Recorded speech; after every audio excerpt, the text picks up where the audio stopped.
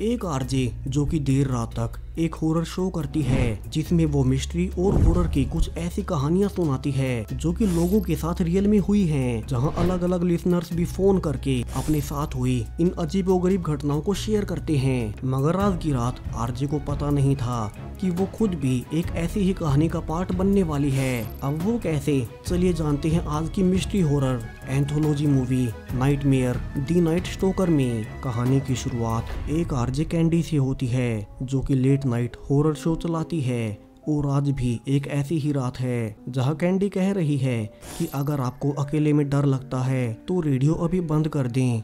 क्योंकि उसकी कहानियों को सुनकर आप अकेले सो नहीं पाएँगे। अब कैंडी अपने स्टूडियो में अकेली है, क्योंकि इतनी रात को वो खुद को उसी माहौल को महसूस करना चाहती है, जो कुछ भी उसकी कहानी के किरदारों के साथ हो रहा है। अब शो शुरू करते ही कैंडी पाती है कि उसके किसी फ़ैन ने उसके लिए उसकी आवाज़ की तारीफ़ करते हुए एक गिफ्ट भेजा है। ये एक लिपस्टिक थी और चूँकि ये कलर कैंडी को काफ़ी पसंद था तो वो उसे लगा लेती है। अब यहाँ से कैंडी आज रात की अपनी पहली कहानी सुनाने लगती है। कहानी है हेलन की, जो कि अपने पति के साथ एक विलन सोसाइटी में शिफ्ट हुई है। एक ऐसी सोसाइटी जिसके सारे के सारे घर बिल्कुल खाली पड़े हैं। अब हेलन भी यहाँ इसीलिए रहने आई है क्योंकि उसका फोटोग्राफी बिज़नेस अब पूरी तरह से डूब गया है। और उसकी फाइनेंशियल हालत अब काफ़ी ज़्यादा खराब है, सोना चाहते हुए भी। उन्हें ऐसे घर में आना पड़ा। हालाँकि हेलन के पति के पास अभी भी एक छोटी सी जॉब है। मगर वो जॉब दोनों के लिए नाकाफी है और इसी वजह से भी अक्सर दोनों में लड़ाई होती रहती है, जहाँ हेलन घर पर अकेली खुद को दुनिया से कटा हुआ महसूस करती है। अब एक सुबह हेलन की आँख खुलती है, जहाँ उसे बाहर से किसी की आवाज़ आती है। यहाँ वो पाती है कि वहाँ कई सारी आवार फोक्स उसके कचरे से खाने का सामान ढूंढ रही हैं। अब कुछ देर बाद वो बाहर आती है जहाँ एक जैसे हज़ारों घर बने हुए हैं, मगर सभी के सभी खाली पड़े हैं। यहाँ हेलेन अपने कैमरे के साथ कुछ फ़ोटोज़ लेने लगती है, क्योंकि उसका बिज़नेस बंद होने के बाद वो यही करके खुद का मन बहला पाती है। अब सब कुछ तो खाली पड़ा था तो हेलन सिर्फ़ वहाँ घूम रही आवार फोक्स के फ़ोटोज़ लेने लगती है, मगर वो पाती है कि उन फोक्सिस को देखकर उसे काफ़ी खुशी महसूस हो रही है। वो उनका पीछा करती है, उनके फ़ोटोज़ लेती है और अब धीरे धीरे हेलेन फोक्सिस से ऑब्सेस्ड होने लगती है, क्योंकि वे कितनी फ्री हैं। ना कोई बंधन, ना कोई जिम्मेदारियाँ, बिना किसी उम्मीदों के फ्री लाइफ जीना। और अब तो वो दिन रात सिर्फ़ फोक्सिस के साथ ही रहती, जैसे कि उनमें कोई अनदेखा अनकहा जुड़ाव हो। और अब यही एक चीज़ थी, जो कि उसे अच्छा महसूस करवा रही थी, जहाँ उसका खुद का पति उसे अनजान सा लगने लगा था। और अब तो रोज़ाना जैसे ही उसका पति काम पर जाता, वो पूरा दिन सिर्फ़ और सिर्फ़ फोक्स के साथ गुजारती। अब एक रात उसका पति उसके कैमरे से ली गई फ़ोटोज़ देखने लगता है, और यहाँ वो पाता है कि उसकी पत्नी ने सिर्फ़ फोक्सिस की ही फ़ोटोज़ लिए हैं। वो भी इतने करीब से, जो कि देखने में काफ़ी क्रीपी लग रही थी। अब वो जल्दी से जाकर हेलेन से पूछने लगता है कि ये तुम्हें क्या हो गया है? इतने दिनों से तुम मुझसे दूर होती जा रही हो, और तुम्हारे कैमरे में ये अजीब से फ़ोटो कैसे? मगर अब तक हेलन पूरी तरह से बदल चुकी थी, और वो वहाँ से भागने लगती है। वो वहाँ से ऐसे कूदती है, मानो कि वो खुद एक फोक्स हो। और अब तक चार दिन गुजर चुके हैं, जहाँ हेलन उस दिन के बाद से घर नहीं लौटी और उसका पति उसे ढूंढ रहा है, जहाँ उसने हेलन के गुम होने के पोस्टर्स भी लगा दिए हैं, मगर यहाँ कोई रहता ही नहीं तो इन्हें देखेगा कौन? अब कुछ दिन बाद फिर से कुछ फोक्सिस कचरे से खाने का सामान ढूँढने लगती हैं जिसे देख हेलेन का हस्बैंड उसे भगाने के लिए बाहर आता है। मगर एक फोक्स अभी भी वहाँ से नहीं भागी थी और वो उस पर टॉर्च मारता है और दोनों एक दूसरे को देखते रह जाते हैं। क्योंकि उस फोक्स की आँखें बिल्कुल हेलेन की तरह थी। अब कैंडी कहती है कि लिसनर्स आपको क्या लगता है? क्या सच में हेलन एक फोक्स बन गई या अपनी पत्नी के दूर होने के बाद उसके हस्बैंड को कोई ये भ्रम हुआ था? और ये थी आज रात की पहली अजीबो गरीब कहानी।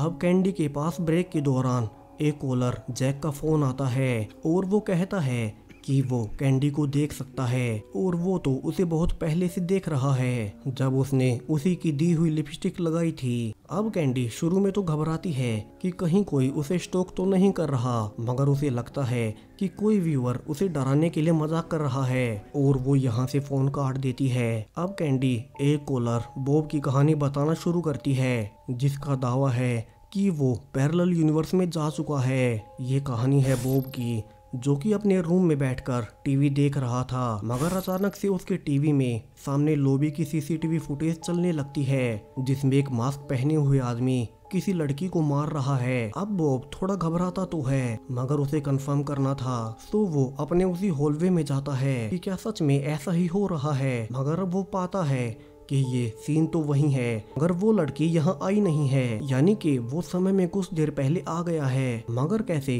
उसे भी समझ नहीं आ रहा था कि तभी वो लड़की उस आदमी से बचते हुए आती है, और वो आदमी अब बोब पर भी अटैक करने लगता है, जहाँ वो लड़की इस बार नीचे भाग जाती है और बोब भी डर कर वापिस से अपने रूम में आ जाता है और जल्दी से पुलिस को कॉल करने लगता है। मगर अब वो टीवी में देखता है कि होलवेज में उसी का एक और वर्जन जा रहा है, जहाँ उसके पीछे वही मास्क पहने हुए आदमी खड़ा है और इस बार वो उसके एक और वर्जन को चाकू से मार डालता है। मगर बॉब तो अपने रूम में था तो उसका एक और वर्जन मर कैसे सकता है? क्या उसने किसी और पैरेलल यूनिवर्स की कोई फुटेज देख ली, जिसमें उसका वर्जन उस मास्क वाले आदमी के हमले से बच नहीं सका? या उसका पूरा अपार्टमेंट ही कुछ समय के लिए पैरेलल यूनिवर्स में शिफ्ट हो गया था? गैस वट ये पहेली अब वो पूरी उम्र सुलझा नहीं पाएगा। अब कैंडी कहती है कि ये काफ़ी इंटरेस्टिंग स्टोरी थी, जहाँ उसका एक लिसनर क्लेम कर रहा है कि वो कुछ समय के लिए एक पैरेलल यूनिवर्स में चला गया था। अब कैंडी ने दूसरी कहानी खत्म की ही थी कि फिर से जैक का फ़ोन आता है। वहीं जैक जिसने पहले कैंडी के लिए लिपस्टिक भेजी और फिर उसे फ़ोन करके कहा कि वो उसे देख सकता है और वो इस बार कैंडी को एक किस्सा बताता है कि कैसे उसने एक काफ़ी फ़ेमस और सुंदर लड़की को उसके कुछ दोस्तों के साथ एक बार में देखा, मगर वो लड़की उसका फ़ायदा उठाते हुए उस बार की सबसे महँगी ड्रिंक ना सिर्फ़ खुद पीती है, बल्कि अपने दोस्तों को भी पिलाती है, जिसके बाद वो अपने दोस्तों के साथ उसका मज़ाक उड़ाते हुए चली जाती है। उसने उसी का मज़ाक उड़ाया, जिसकी तीन महीनों की सैलरी उसने ड्रिंक में पी ली थी। अब कैंडी को रियलाइज़ होता है कि वो लड़की कैंडी खुद ही थी, जिसने कुछ हफ़्ते पहले किसी के साथ ऐसा ही किया था, जब वो अपने दोस्तों के साथ पार्टी करने गई थी। अब कैंडी कहती है कि अच्छा तुम वही हो, और कैंडी यहाँ से उससे माफ़ी मांगती है, मगर जैक कहता है कि उसने गलत आदमी को इंसल्ट कर दिया, और अब उसे इसकी सजा भुगतनी होगी। वहीं एक और कॉलर की कहानी अब शुरू होती है, जहाँ एक फ़िल्म प्रोड्यूसर टेड एक एम्प्लॉय सेरा के साथ एक बंद हो चुके हॉस्पिटल में आया है। दरअसल इस हॉस्पिटल में रात होते ही कोई औरत लोगों को दिखाई देती है। सो टैड उसी पर फ़िल्म बनाने के लिए खुद उसे देखने आया है। अब सेरा टैड को इसी हॉस्पिटल में हुई एक सच्ची घटना बताने लगती है कि लगभग सौ साल पहले, यानी कि 1920 में, एक मैरी नाम की नर्स यहाँ काम करती थी। वहीं टैड उसे कहानी सुनाते हुए शूट कर रहा था। यहाँ सेरा बताती है कि जब मैरी के बच्चे की मौत हुई तो वो मेंटली काफ़ी परेशान हो गई, जिसके बाद उसे इसी कमरे में कई सालों तक बंद रखा गया, जहाँ वो सिर्फ़ एक ही बात दोहराती रही कि मुझे मेरा बच्चा चाहिए। और फिर एक दिन, मैरी ने खिड़की को तोड़कर उसके कांच से खुद की जान ले ली। अब दोनों ही ये नोटिस नहीं करते कि उनके पीछे कोई आहट हो रही है, जैसे कोई उनका पीछा कर रहा हो। अब सेरा टैड को एक डिलीवरी रूम में ले जाती है, जहाँ मैरी के बच्चे के पैदा होते ही उसे मार दिया गया।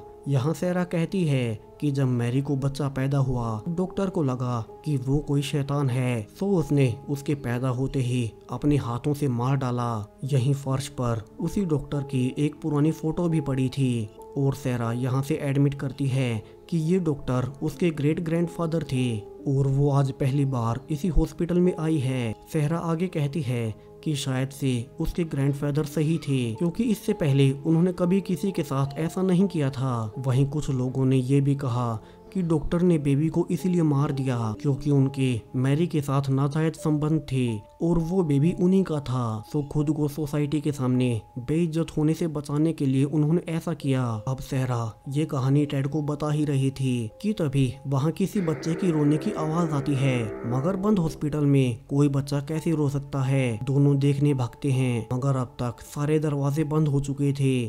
सहरा डर जाती है कि कहीं वे कहानियाँ सच ना हो। और वो बाहर जाने का रास्ता ढूँढने लगती है। मगर उसके पीछे से टेड पर एक औरत अटैक कर देती है, जबकि सहरा लगातार रोई जा रही थी कि उनके साथ ऐसा कौन कर रहा है और वो उन्हें घर जाने दे। तभी उसके सामने एक पुराने जमाने की डोल रखी हुई दिखाई देती है और उसके पीछे से एक औरत कहती है कि उसे उसका बच्चा वापस चाहिए। सहरा समझ जाती है कि ये मैरी ही है, जिसकी रूह इतने सालों बाद भी यहीं भटक रही है। सहरा डरकर भागने लगती है और वो पाती है कि टेड को किसी ने बहुत ही बुरी तरह से चीर फाड़ कर मार डाला है। सहरा डर कर भागने के लिए मैरी के पुराने कमरे में जाती है। वही कमरा जहाँ मैरी कई सालों तक बंद रही, वही मैरी पीछे पीछे ये कहते हुए आ रही थी कि उसे उसका बच्चा वापस चाहिए। और फिर पीछे से उसी कमरे का दरवाज़ा बंद हो जाता है। अब क्या मैरी सहरा के ग्रैंडफादर की सजा उसे मारकर दे देगी, या फिर वो सहरा को उसी कमरे में कई सालों तक तड़पा कर रखेगी, जैसा कि उसे खुद रहना पड़ा था? आपको क्या लगता है कि उसने सहरा के साथ क्या किया होगा? कैंडी यहाँ अपने व्यूअर से पूछने लगती है। अब कैंडी ओफेयर हुई ही थी कि फिर से जैक का फ़ोन आता है, और वो कहता है कि अब उसका सबक सीखने का वक्त आ चुका है। अब ये सुनते ही कैंडी पुलिस को जल्दी से फ़ोन करने लगती है, मगर वो पाती है कि जैक उसके रूम में घुस आया है, जहाँ उसके एक हाथ में वाइन है, वहीं एक हाथ में कुल्हाड़ी है। कैंडी डर कर जल्दी से भागकर बाथरूम में छुपने जाती है। वहीं जैक अब उसके पीछे पीछे जाने लगता है और कहता है कि आज बदले की रात है और वो कुछ भी करके बच नहीं सकती। और जैक, अब कैंडी को बाथरूम के बाहर एक कहानी सुनाने लगता है। दो बहनों, आर्था और एली की कहानी, जहाँ दोनों डॉक्टर्स हैं और काफ़ी दूर अपनी माँ से मिलने जा रही हैं। अब चूँकि काफ़ी लेट हो गया था तो दोनों रास्ते में रुककर कुछ खाने का सामान लेने लगती है, मगर वो शॉप भी बंद थी।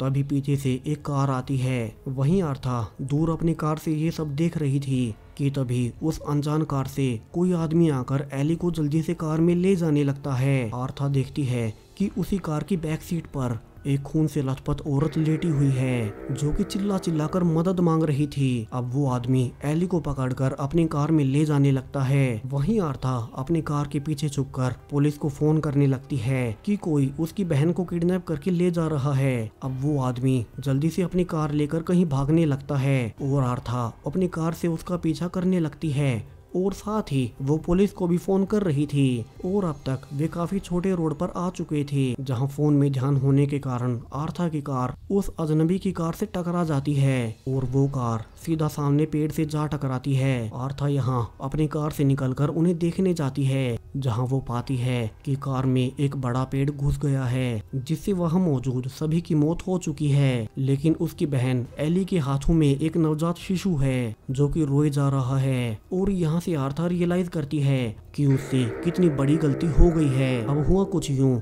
कि वो आदमी कोई किडनैपर नहीं, बल्कि अपनी प्रेग्नेंट वाइफ को हॉस्पिटल लेकर जा रहा था और उसकी वाइफ प्रेगनेंसी के खून में लथपथ थी और वो डिलीवरी के लिए उनसे मदद मांग रही थी। सो चूँकि एली भी एक डॉक्टर थी तो वो खुद ही उनकी मदद के लिए उनकी कार में जा बैठी, जिसके बाद वो आदमी तेज़ी से हॉस्पिटल की ओर जा रहा था। मगर आर्था को लगा कि वो उसकी बहन और उस औरत को किडनैप करके भाग रहा है। सो उसने गलती से उनका एक्सीडेंट करवा दिया, जिसमें उसकी बहन तो मारी ही गई। अब वो फैमिली भी मारी गई, और अब बचा तो है सिर्फ़ उनका बच्चा, जहाँ आर्था पूरी तरह से टूट चुकी थी।